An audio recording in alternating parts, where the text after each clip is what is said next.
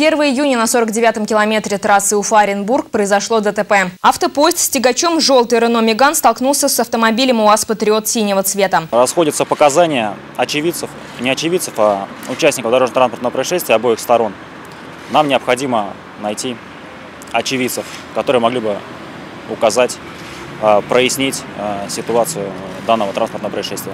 Если вы что-то видели или у вас есть запись с видеорегистратора, обратитесь по номеру 8 917 42 96 053.